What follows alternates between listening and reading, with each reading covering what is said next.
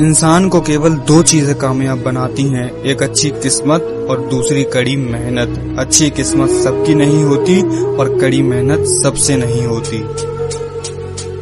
जब इरादा बना लिया ऊँची उड़ान का तो देखना फिजूल है कद आसमान का। मुसीबतों से ही निकलती है शख्सियत यारों, जो चट्टानों से ना उलझे, वो झरना किस काम का। दिन के उजाले में तो कांच का टुकड़ा भी चमकता है।